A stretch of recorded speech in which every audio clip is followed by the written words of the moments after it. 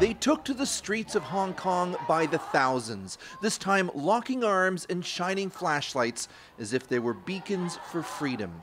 Organizers called this the Hong Kong Way, named after a similar human chain formed 30 years ago as the Baltic nations of Latvia, Estonia, and Lithuania fought for independence from the Soviet Union.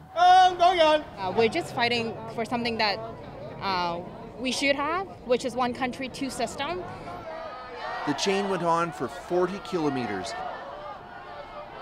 Along the way, people held up the flags of friendly nations to say thank you.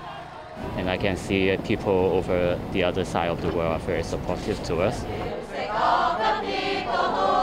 They sang songs of revolution, including this one from the famous musical Les Miserables. This will be the 12th straight weekend of anti government protests that show little sign of dissipating as demonstrators push to limit China's political influence in the territory. Still, Alan Kam acknowledged they're up against long odds. It, it always happen. I mean, for the past hundred years, people always win, not the government, not the, not the dictator.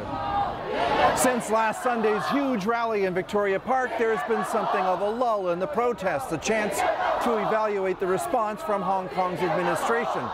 China, however, has not let up with its pressure tactics on the protesters. The latest casualty of pressure from Beijing is flight attendant Rebecca Tsai.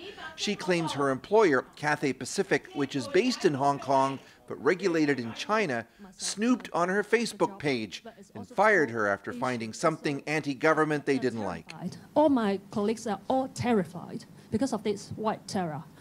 White terror is a term people here use to describe a climate of fear. The protesters have been cautious of late about doing anything that paints them as extremists. But tomorrow, some plan to return to the international airport to clog up access roads. And the scene may not be as peaceful as the one on this night. Chris Brown, CBC News, Hong Kong.